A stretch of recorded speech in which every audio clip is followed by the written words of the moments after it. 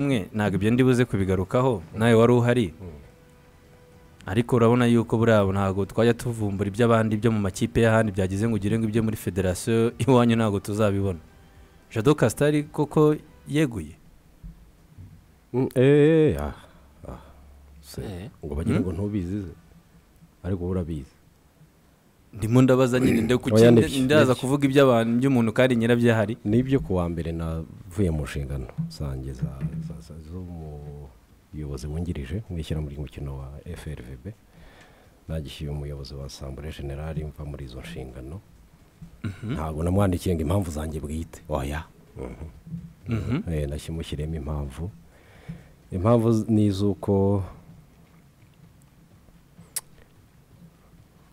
ngarutse ni inshingano numvaga nakomeza rwose. Mm. ni inshingano numvaga nakomeza ndetse ndanagerageza rwose njya mu nshingano ku wa gatatu w'icyumweru gishize ubwo hari amakipe yari agiye gukina hanze ndetse na gisagara igaruka. Uburyo naraye iryo joro ni ho bwakeye rwose mbwira umuyobozi w'ishyirahamwe ry'umukino wa volleyball ku wa kane w'icyumweru gishize mubwira ibitekerezo cyanjye mbwira inshuti n'abavandimwe namwe murimo ko izo nshingano mu by'ukuri numva ku- ku- kuzigumamo naba ari ukubeshya abanyarwanda. Nta kintu nkifitemo rwose nta nta nta- nta gasupu. Ntako kabisa. Ntako rwose. Nu- nu- numva ari ibintu bitari ibyanjye nsa nk'umuntu wifitiye turoma ubu ngubu kujya gukwiza turoma mu mukino twese dukunda ntaho byaba bihuriye. So ni byo nandikiye rero umuyobozi ndamubwira nti nyakubahwa perezida nta nta motivasiyo numva ngifite nta zije nta kuraje nta ki rwose nta mavuta ngifite mu itanki yanjye numva yo kuba natanga mu- muri izi nshingano. Kubw'izo mpamvu reka nziromete nibera umufana mwiza umunyamakuru mwiza ndetse ye witeka azanafashe nzabe future investor mu mukino. Ariko for nk'umu ntabwo nkibishoboye rwose no guhobera ibyansize. Mm. Eh, none kugenda umwanya wawe utigeze usimburwa hari indi miziro se? Hari indi mpamvu? Cyangwa nawe bagusabye kwegura? Oya kandi aho aho ngaho ho wapi? Eh, bagusabye kwegura ukaba urimo ntimugajye mubeshyera abantu. Kuko ari byo naje kuza kubona mu mukino wacu umwe dukunda reka ne kuwuvuga ariko ejo ejo turashaka iminota mike tuwugarukeho umukino w'abantu benshi. Oya si uriya wawe? Ni uwundi wacu nawe dukunda so. Cyangwa wasabwe kwegura? No. Mhm. oya oya mu- mujya kubeshyera abantu. Kuko uza watubwiraga ko wumva ufite ubushake wumva wazakomeza gufasha volleyball. Jarike reka nkumenere amabanga. Mm. mu ijoro ryo ku wa kane njye nawe na david twarafashe amasaha atanu yo kuganira kuri iki kintu. Iwanjye.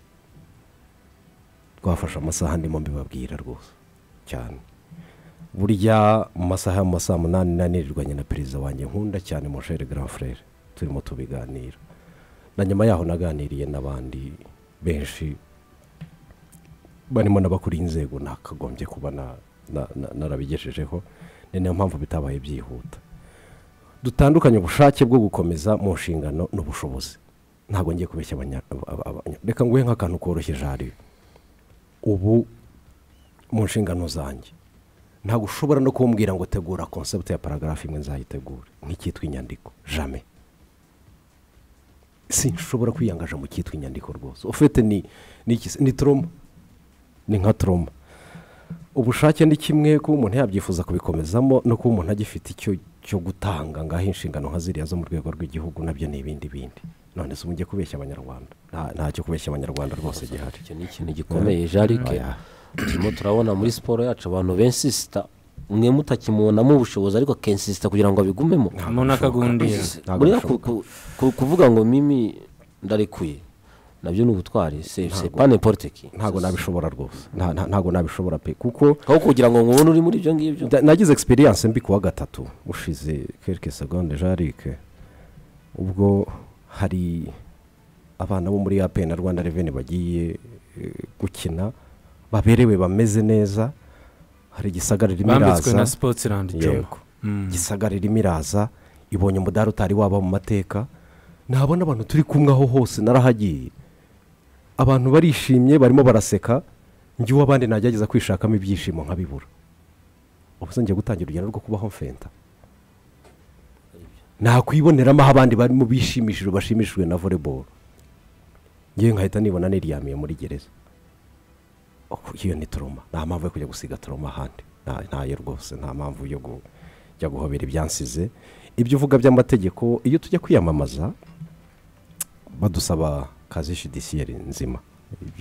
Ibyo uh, positive criminal record. Ibyo ni ibisanzwe. Ariko iyo wamaze gutorwa ugakomeza ukagira n'iki kugeza ubu amategeko yacu ntacyo akibivugaho. Aho rero nta bantu ntabariho bashakira igisobanuro. Igisobanuro aho gihari ni ngewe udashaka kubeshya abanyamuryango bo muri volleyball ngo ndi mu bintu byaransize kera nanjye ubwanjye mbyiyumvamo ko byansize kera. Nta gatobe nyifitemo ko gutanga nta apurikasiyo nabona nta motivasiyo nabona nta kuraje nabona tusempuruma ni ukuza no guhamuka mu mukino twese dukunda. Tanga umwanya hazemo abandi turabafite muri volleyball bakomeye tuzabashyigikira tuzabagwa inyuma ariko ngewe nta mpamvu yo guhobera ibyansize rwose. Kuko mwanaume. Ni mwanaume? Mwanaume ariko abantu bo muri vora babaye mu Na- kintu barabonye ko bari bishimye ko mambo. ni byiza igihe wumva bidashoboka unaca kugira ngo utabera umuziga abandi. Kandi ni wowe iyo uzi ukuntu ivuga. yari amutegereje avuga ati uruviri rugiye felicitasiyo kuri kujyamo." mucyo Ni yanibarutse akubwira Eh, mucyo yibarutse. Mucyo yibarutse. Ah, wow. Eh, Congratulation kuri kuri- kirinda uba umuzigo ku bandi. Ko tu- kinaguhaye urugero se muri siporo yacu? Aho umuntu bamubwira ati egura igura kuki barinda kukubwira ngo egura? Abenshi iwacu barasunikwa. Nicyo kibazo wababajije. so ngibyo rero ubwo reka tuze dukomeze n'ibyacu ubwo nari nabibonye ha- ahantu bitambuka jado twa- twari twaganira ariko sinari nzi ko watanze letire iri ofisiyeri nabibonye letire yandikiwe umuyobozi w'inama y'inteko rusange ya frvb akaba ari leandre karekezi. Hari ugutanga ubwegure ubwo inteko rusange zabimenyeshwa ubwo na yo ibyemere. Akenshi nabonye iyo umuntu yeguye asobanura n'icyo noneho wambwaye ntuvuga uti ni impamvu nanabashimira byangiriraho." cyane kuri sapoti yabo ku kunyumva kugira n'ibiki kandi gaturi kumwe ntabwo ari ngombwa umuntu ngo yizirike muri adiminisitirasiyo no muri volleyball tuzahora ku bibuga duciringa Okay.